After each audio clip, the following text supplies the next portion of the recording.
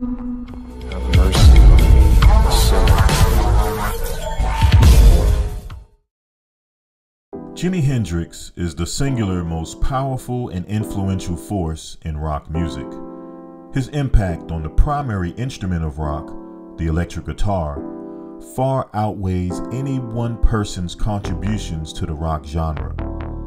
One could argue that Robert Johnson is the only one in the conversation with Jimi due to Mr. Johnson's seminal influence on blues guitar, which became the foundation and basis of R&B, jazz, rock, and a majority of what we would call today popular music. To include Mr. Johnson, you would have to base your arguments on a well researched scholarly argument, which would bore most people to death. On the other hand, to see and hear Jimmy's influence, all you have to do is listen to music for the past 50 years. You can hear Jimmy's guitar stylings in a wide variety of genres across the board. You can visually see his influence in the flamboyant dress, style, and swagger of the artists that came after him. These observations about Jimmy are crystal clear to me right now as an adult, but growing up in New York City as a young black kid in the 80s, Jimi Hendrix was nowhere to be found. My family members never spoke about him. My friends and classmates at PS 95 in Brooklyn, New York never spoke about him. It was all about Run DMC, the Fat Boys, Slick Rick and Dougie Fresh, Michael Jackson, Prince, Tina Turner, and all the other iconic 80s artists. I've written extensively about my unique journey to not just discovering Jimi Hendrix, but also on my research asking probing questions about his low profile in the black community. Initially, I labeled it as a lack of respect from the black community, but discovered that it was a bit more nuanced than that. The more I learned about Jimi Hendrix, the more I realized that many black people either had little to no information about Jimi Hendrix they had information about Jimi Hendrix that was heavily Eurocentric. They had inaccurate misinformation about Jimi Hendrix, or was just flat out told lies about Jimi Hendrix. In other words, there was an overabundance of low quality information designed to make Jimi Hendrix less desirable to many black people. Many black people may have looked at the contrived and artificially manufactured image of a wild psychedelic rock hippie that the mainstream media pushed about Jimi and said, no thanks, hard pass. Jimi's influence on black popular music like funk, R&B and soul, jazz, and even hip hop were marginalized, pushed to the side, and sometimes even disparaged or denigrated. Many people overemphasize his exploits in the world of rock, which leads them to devalue and sometimes even denigrate his R&B roots. Instead of seeing images and videos of Jimmy backing up R&B and soul legends like Little Richard, the Isley Brothers, and Wilson Pickett, most of the images pushed onto the public featuring Jimmy showed him with Janis Joplin, The Who, Mick Jagger, Eric Clapton, and other mainstays of the swinging 60s London scene or San Francisco's hippie scene. Instead of seeing images and videos of Jimmy playing the United Block Association's benefit concert in Harlem, and plentiful images and videos of Jimmy playing with the Band of Gypsys, we see an overwhelming and lopsided representation of Jimmy playing with his two English bandmates, Mitch Mitchell and Noel Redding, in the original Jimi Hendrix experience, usually in the setting of Woodstock and the Monterey Pop Festival. Today, the representation of Jimmy is more equitable and balanced, but there is still some room for improvement. So, the purpose of this documentary is to fill in the gaps of this low quality information that's been floating around concerning the great Jimi Hendrix.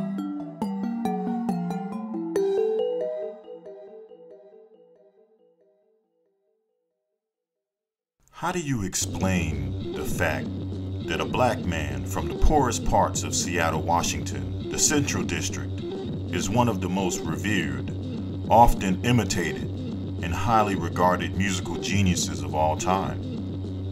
How do you wrap your mind around the highly implausible notion that a black male high school dropout has crafted some of the deepest and most beautiful lyrics that have ever been recited around the world and even studied in some of the most prestigious colleges and universities.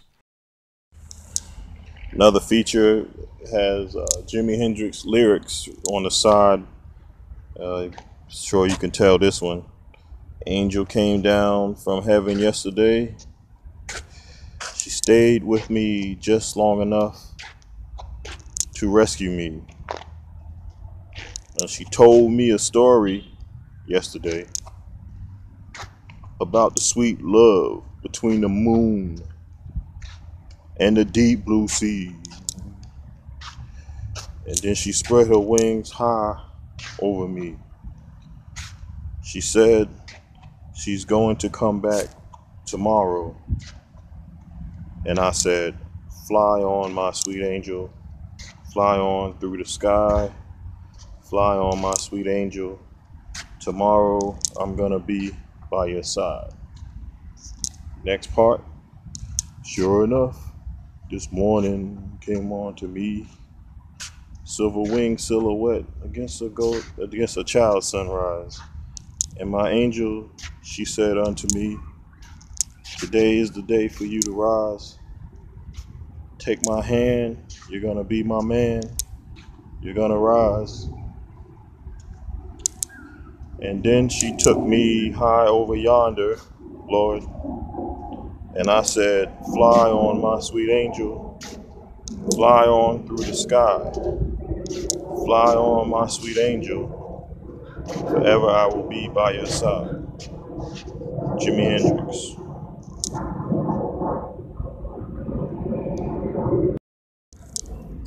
Let's see, they got another lyric on the side of the Jimi Hendrix Memorial Park here in Seattle Central District. Let's see how you figure this one out. Well, she's walking through the clouds with a circus mind that's running wild. Butterflies, zebras, and moonbeams and fairy tales. That's all she ever thinks about. Riding with the wind. When I'm sad, she comes to me. With a thousand smiles she gives to me free. It's all right, she says, it's all right. Take anything you want from me. Anything, anything. Fly on, little wing. Yeah, yeah, yeah, yeah. Little baby, Little Wing, 1967. Well, one of the ways that these facts have been explained away is to craft a narrative of Jimi Hendrix as an extraterrestrial, otherworldly being with superhuman abilities. Or as the professor of funk, Ricky Vincent once said, a colorless rock avatar. Another troubling narrative to explain the excellence of Jimi Hendrix is to dilute his race, culture, and personality.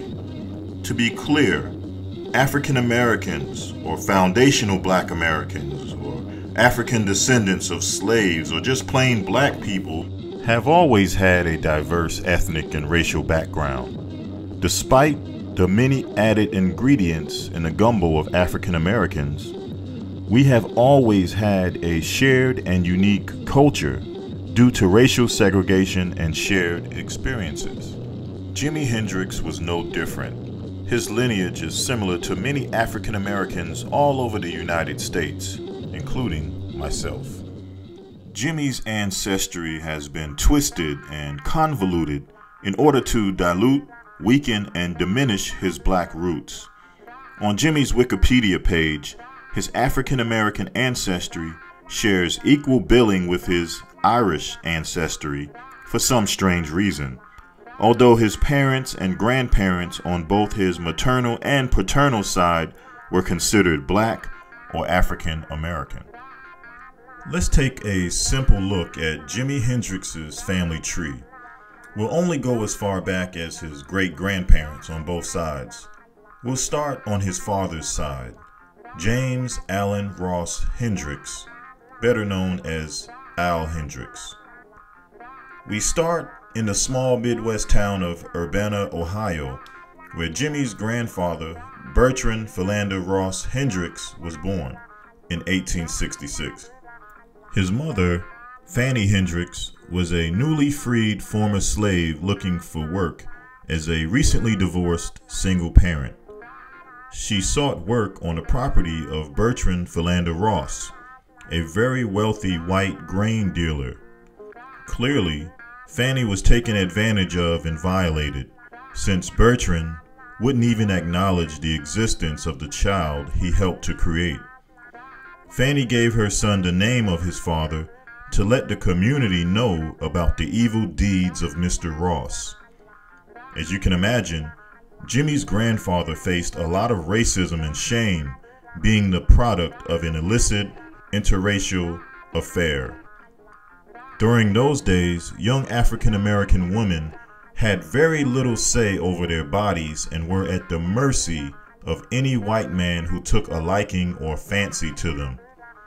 Needless to say, Bertrand Philander Ross Hendrix migrated to Chicago in 1896, looking for better opportunities. He changed the spelling of his last name to Hendrix H E N D R I X in Chicago and found work as a police officer. Eventually, he quit and found work traveling as a stagehand with a vaudeville troupe. When the troupe broke up in 1912, he found himself in Seattle, Washington. There, he would meet Jimmy's grandmother, Zenora Moore, who was born on November 19, 1883, in Georgia to her mother, Fanny Moore, who was half Cherokee and half black, and her father, Robert Moore Sr., who was a freed slave. That would make Nora, Jimmy's grandmother, 25% Cherokee, far from the full blooded Cherokee accounts that you see erroneously printed in many Hendrix bios. As a young 20 something year old woman, Zenora began performing as a dancer with a traveling vaudeville group. That's how she met Jimmy's grandfather, Bertrand. Once life on the road ended, they decided to get married in Seattle, but would soon move to Canada in Vancouver, British Columbia. They had five children altogether, three surviving and two dying at an early age. It was their fourth child, James Allen Ross Hendrix, who would become the father of Jimi Hendrix. Now let's look at Jimmy's family tree from his mother's side, Lucille L. Jeter. Once again, Jimmy's great grandfather on his mother's side was an unknown white man from Alexandria, Virginia, that took advantage of Jimmy's great grandmother, Elizabeth Brown. Elizabeth was only 14 years old when she had Jimmy's grandfather, Preston Moses Jeter, in July of 1872. Later, Preston would go to work as a day laborer on the railroad. His job would at some point lead him to the Seattle area between 1900 and 1912. Jimmy's grandmother, Esther Clarice Lawson, was born to Miles Lawson and Amanda Williams in Texarkana, Arkansas in May of 1892. The 1880 census labeled Miles as a Negro and Amanda as a mulatto. They were both born in Mississippi. Preston and Esther Clarice met in Seattle and were married on May 20th, 1914. They had six children, with their youngest girl, Lucille Jeter, becoming the mother of Jimi Hendrix. So, to break all of this down, Jimi's European lineage was on his mother's and father's side through the unfortunate scenarios of his two black great grandmothers being taken advantage of by his two white great grandfathers. Other than that, Jimmy's grandparents and parents on both sides were black. Furthermore, many black families can sadly relate to Jimmy's family composition, as many black women in the United States back in its infancy were taken advantage of by lustful slave masters and other white men in authority. It's a shameful part of history that can't be sugarcoated. It must be addressed head on and bluntly, even if it offends people.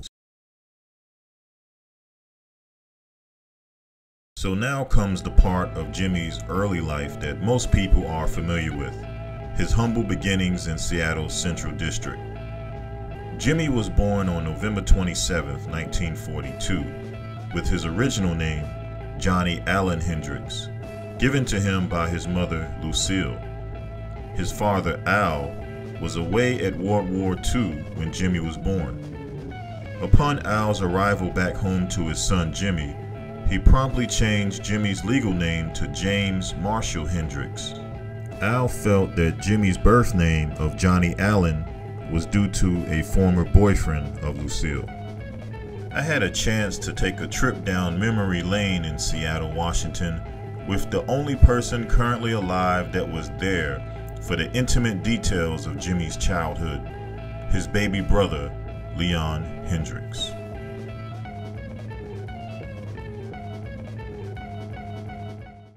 Try, I'm gonna jump in. So I went out there, climbed the ladder, went on the edge and couldn't couldn't jump. It was too high. Yeah. And so they said, You're not you're not letting you can't you have to go that way to get down because these people are waiting to get up. So they start hooting at me and they, uh, jump. Look Rainier.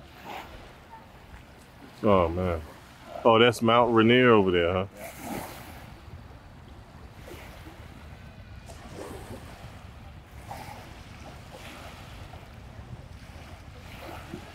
are down here at Madrona Beach in Seattle. Um, this is where my dad and Jimmy grew up playing and swimming. Um, in the background there, there's a new city, Bellevue. That, that didn't exist in there. When you looked over there as a kid, what did you see? That was country. It was all trees. It was forbidden. You had to have green cards over there. Wow. if you're black. Wow. That bridge didn't exist, did it? Yeah. Uh, no, it didn't. We only had that bridge. You only had I 90? Yeah. Yeah. And it was slow through. Floating Bridge. Only one in history. So you were saying that um, one time when you were a little kid, you remember about how old you had to be? So Jimmy was probably about 14 or 15. Yeah. And you were, you were down here with who? Uh, my dad, my mom, and Buster. You guys were having a picnic? Yeah. We used to go in there and take a shower and check in. They had, you know, the whole kind of thing in there. Beach house. Yeah. Yeah. Looks like it's been boarded up a while. Oh yeah. But, um, so what happened, Dad? What, Okay, we, we were picnicking right on that corner. That tree wasn't that, that tree wasn't that big. Yeah, you were picnicking. That's- That was our corner all the time. We get a picnic. My mom would fry chicken, potato salad. And we sit there, and so the girl was out here. She screamed because she stepped on this glass. Uh, was it a woman, child? A white young girl. A, a young white girl? Like Yeah. a girl under 18. Teenager? You don't remember? Girl. Okay. And so she we were, was. we were right on that corner right there. Go there, go sit. You were right on that corner. She was out there. Yeah. She screamed. And uh, she said, screamed. Oh my God. And then she, she was in panic and she started to, to struggle and go under and you could see blood come up. Ah, so my dad jumped off that thing right there. Straight in. Blood. He grabbed her because he was strong a little man. Yeah. And he grabbed her and pulled her up and brought her here in the, in the aid station came from this building and tipped up her leg and everything and then it got reported to the news media somehow that you know, they put my dad in the paper they he saved this girl from drowning after after an accident she had in the water. So Grandpa Al saved a woman's life, a young lady's life here. And you and Jimmy witnessed it. Yeah. Wow, that's very heroic. I never knew that. Amazing. So this is where you would meet up with mom, with grandma, your mom? They have picnics or family Yeah, yeah. When we when, every, every time we got together, you know, my dad still with my mom a lot, and they always came back together. We did family stuff. That's nice. yeah. I bet you love those times. Yeah, What do you remember about your mother? everything. What stands out to you? Perfume. Was she beautiful? Yeah. She always wore nice. She was always stylish. Because she was always young. She died at 33. So Yeah, because Johnny Brown, the boyfriend that uh, Jimmy was named after, because his name was Johnny. So we don't believe that probably is his father. Okay, but so what about Johnny Brown? He used to buy her a lot of clothes. Yeah. I heard a story once that Auntie Dolores told me that that Grandma Lucille was actually kidnapped and taken down to Portland by a pimp when she was about 14 15? 15 years old, I didn't and that uh, that Auntie Dolores and, and everybody had to go down there and get her. I never they wouldn't tell me that kind of story. Yeah, that's what the story was told to me. Well you, you know, I used to ask Yes, a lot sir. of questions. I used to always be down at Auntie Dolores' house. I used to love talking to her. this is our spot for summertime. Like, I remember I was out there doing my thing, and Jimmy and Bobby were right next to me. Bobby's your cousin. That's Jimmy's age, right? Yeah. So I was messing around, and I and I got out of the ground underwater. And I must have lost my breath because I looked at the, all I could see was the sky. And then I seen Jimmy reach over, and I was gone already. I was in euphoria. I was getting ready to just go. No pain or nothing. Oh wow, you were Another were- world. yeah, you were across the river. Yeah. So he reached down and grabbed me, and and that was the most pain I ever had when I had to get fresh air into my watered lungs. Oh my god. So how did he get it out? Did he hit you? No, he, pull, he pulled me up and, and pulled me up here, and then the lifeguards came, and and they didn't need to do nothing on me because I was like coughing and I was up and crying. But that was painful, huh? You never forget that pain. Uh-uh. So your brother Especially coming from euphoria. I've been there, to Dad. When I was shot, the same thing happened to me. My body got warm and fuzzy after extreme pain, and I felt really good. And I was fading out. It was like a beautiful high. And then all of a sudden, they just start s- snap, shocking me up, like with the things, or shockers. Wake up, wake up. But yeah, there's your grandkids on the water. Is that what reminded you when you saw your little granddaughter in there? Kind of Yeah, getting because into he had to go in the water and get her. Just like a big brother does. Yeah. Uh, caves out Yeah. and, uh, and play. Looks like they There should be a football field here and a baseball field at the other end. Wow. It's where we, me and Buster played uh, football. He was in, uh, I was in Bantam League and he was in Pee Wee League or something. This is what one of the teams here. Wait a minute, This used to be Empire Way. Right, The Catfish Corner is right down the street. I know. They closed. Yeah, but then they reopened on Jackson. I heard. Oh, yeah.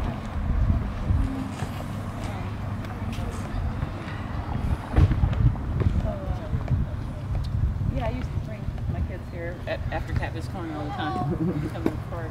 I didn't know that you and Jimmy used to play here. Hello. He found everything. He found one time we found this this hummingbird in a nest, and it's been dead, and we it was dead, and then we found out that hummingbirds, if their eggs don't hatch, they die with it. So the egg and, and her were still in there, like preserved and everything. It was all. Wow.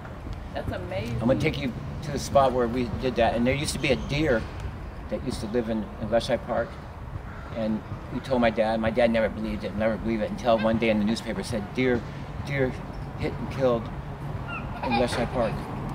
Wow. They've been living there all these years, you know. Amazing, Dad. Good story, Dad. Um,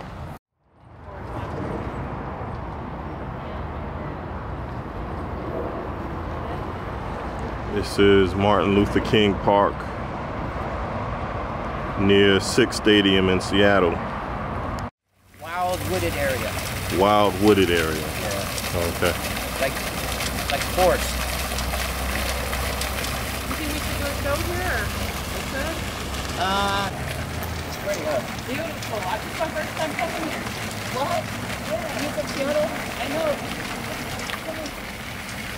They don't know this, that's not it. I mean, I read. The kids, last time I was here, the kids were skipping. Held at home. This is where my dad. Where was Jimmy standing? Jimmy was standing, like right there, With his red coat. in his red coat. My dad took a picture of him. How did that happen, Dad? How did this? You guys take pictures? Because me and, me, Jimmy, and my dad were working. So on the weekend, it was Saturday. We went gardening with my father. Jimmy made enough money to buy the coat from, from Wilson's um, Mercantile store over on Jackson. For five dollars, he bought that red jacket, and he was so proud. Went in, took a bath because he had to play that night. So he had his new jacket because all the Rockin' Kings had to have a red jacket. So finally, he was an official member of the Rockin' Kings, and he was happy. He was everything. Then uh, I took the picture. He, how? How? How did he take a picture? He came No, he said, story. Leon, take a picture. I had an old Instamatic camera. What did he say? He said, take a picture of me, of my new jacket and my guitar. And how many pictures did you take? I don't know, one. In them days, you can only take one. That's a good picture, Dad. And he was so happy. Do you ever remember him being more happy than that? Uh, no. That was a moment. It seems like everybody was happy that day. Yeah. That's a good. That's a good piece of history, people, right there. This used to be the red house that Jimmy was talking about in his song. This is where uh, Betty Jean stayed here in Seattle. It's not red anymore, but it used to be. So, Dad, where are we? We're at uh, Betty Jean Morgan's house. Uh, the red house. They're gonna Photoshop that red. uh, where Jimmy met Betty Jean. You know, Betty Jean was Jimmy's girl, Buster's girlfriend in high school, and uh, and they were engaged to be married. So it's that house right over there, That house right that barn house. She, she still has pictures and letters from Jimmy written to Betty Jean, but she won't give them up. Maybe she should go talk to her someday. She still lives in that house. Yeah, yeah. They still live in that house. Yeah, all the kids. The grandkids and all that. Wow. maybe the mom's not alive anymore. She, she married the bass player What bass player?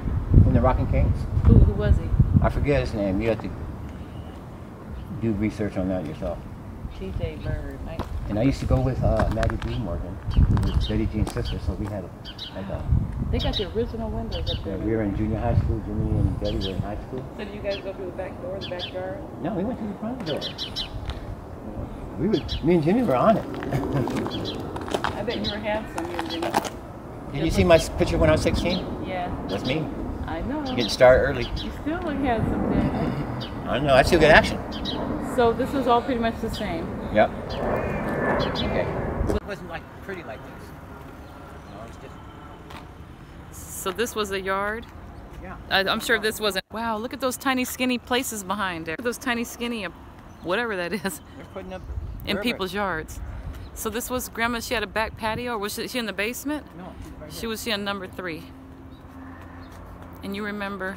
Yeah, my dad used to come and pick us up and uh and take us in. Uh, think that porch is new. Back here. The porch is new. Yeah, because there wasn't no sliding doors in them days. Yeah. Fifties. Yeah, there wasn't. There might have been French doors. I remember I used to I used to sleep in the dress. So was this a up and down stairs? Wow, Dad. And we walked up just to our house. Oh, yep. And here we are on the corner. What street are we on? Let's walk over here. We're on 15th and Yesler. Oh my gosh. And that's where Chantel. Here we are on 15th and Yesler. That's the Aradell Mitchell home where Chantel Hendrix used to live, which is the um, great granddaughter Lou Six. Used to live kitty corner across the street right here. That's amazing. Like I lived there Yeah, because they when they first got the clean. The spirit. Oh my gosh. Mama Hankins used to live right there. Old friend of my dad's. She Wow. Babysit me and Jimi. We couldn't touch nothing in her house. So number three was where you come to see your mama. Yeah. But how did I, an unlikely vessel living in Augusta, Georgia, by way of New York City, come to embark on this journey, this crusade, this path of most resistance, focusing on for the last quarter of a century on what some have called a lost cause? That cause being to ensure that Jimi Hendrix's black legacy gets promoted. That cause being to make Jimi more relatable to younger people of color. And lastly, that cause being to correct the notion that has existed for years that black people don't care for Jimi Hendrix. Well, for some, my age and race may throw people off when it comes to my intense interest in Jimi Hendrix. For others, it may be my location, Augusta, Georgia. Augusta, on the surface, may mainly be known for two things. Number one, the Masters Golf Tournament and the Augusta National with the prestige of the green jacket. And two, the godfather of soul, James Brown. But musically, Augusta has been built on the backs of a trio of diverse black musical geniuses. First, you have the fiery, talented, and passionate Sharon Jones, who some consider affectionately as the female James Brown, for the way she brought her A game every time she graced a stage. You know what? This home thing, what I need to do now is take y'all on back a little bit farther to my home, my hometown of Augusta, Georgia. Huh? And while we going back to Augusta, I'm gonna take y'all back in time. Let's imagine this. 1965, 1965, they used to dance. They had all kind of dances. But Mr. Brown down in Augusta, he had his thing going on. And what I'm gonna do is get on a train and we're gonna call this the Soul Train. Now don't y'all wanna ride with me? Come on, you're riding, right? Time to get a train. Get on board, y'all. Now ride it with me. Now wait a minute. You see, first stop on the train is gonna be the Boogaloo. Now come on now. Said that king. Can I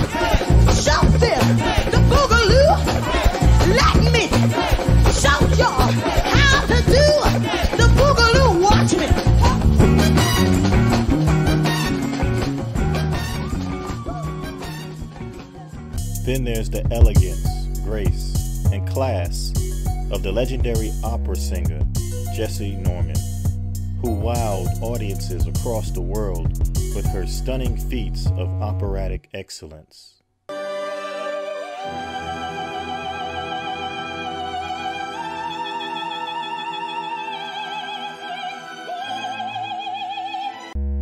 And last, but certainly not least, is a man that has always represented Augusta all over the world, James Brown, who continues to receive accolades after his death. His footprints were left all over this globe, but if you want to visit the epicenter, the nexus, or as Bobby Byrd would say, the headquarters for all things James Brown, you gotta visit his city, Augusta, Georgia.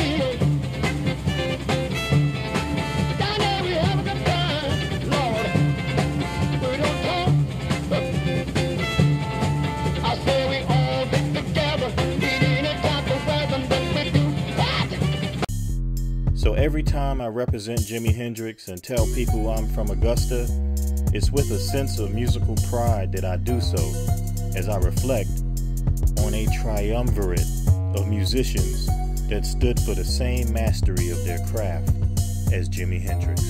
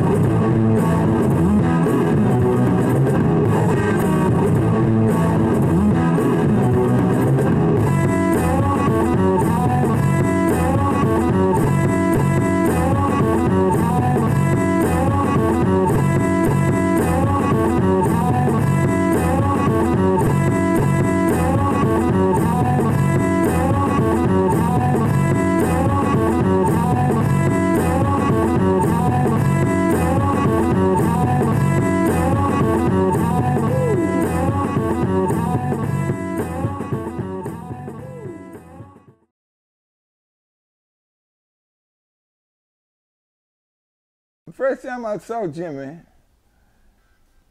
I was in uh, Macon, Georgia.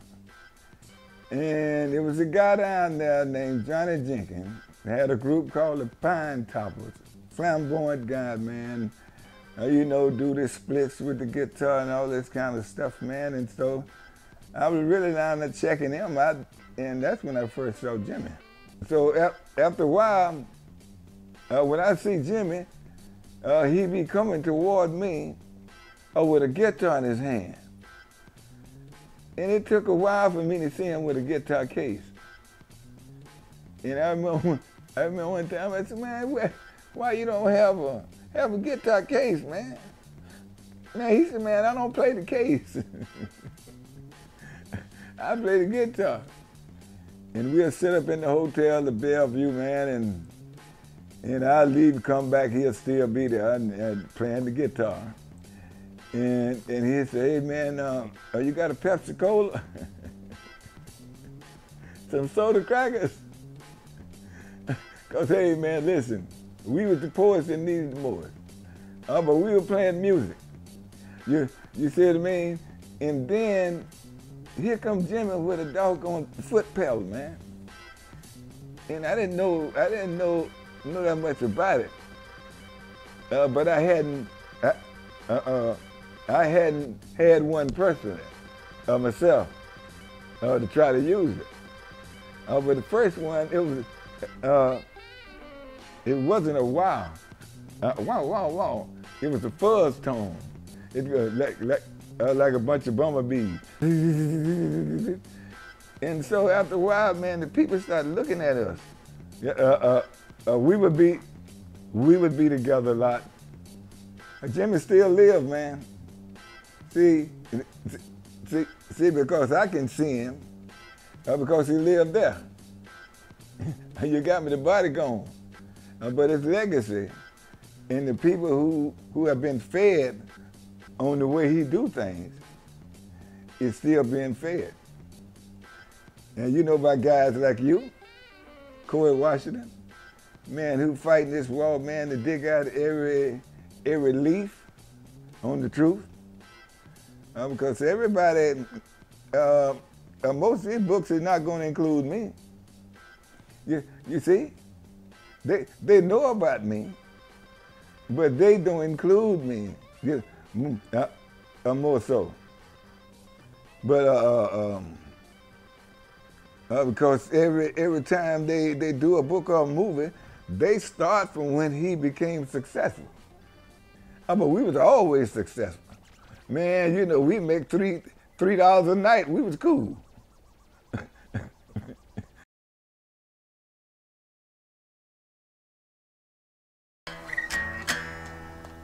Got a little bit of that. Got that will. Yeah, that's it. Yeah. Oh, yeah. Yeah, yeah.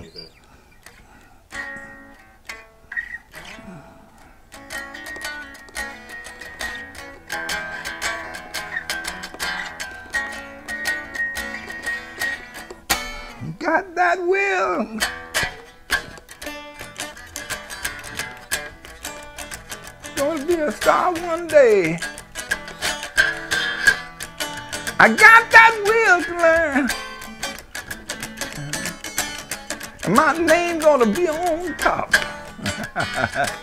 Let me tell you about it. Uh, my name gonna cover the world. And you gonna know me. It's gonna be sucking into ya, making everybody happy. You gonna know me, yeah. Gonna be pretty girls, pretty clothes. Do you know? Dig it.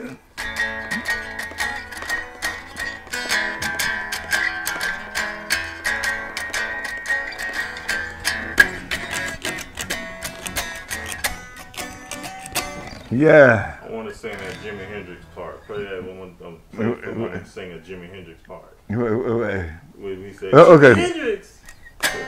Hear it. Me what he said. Play me guitar. He made it. Yes, it did. Yes, he did. No, no, no.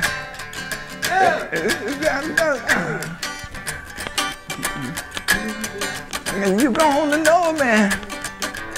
I gotta be pretty calm, pretty close. Do you know? And then, Gonna be in your town, performing on stage, Yeah. singing my hit record. Yeah. Listen to this.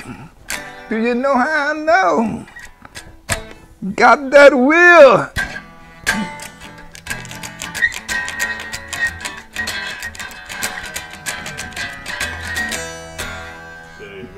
Yeah.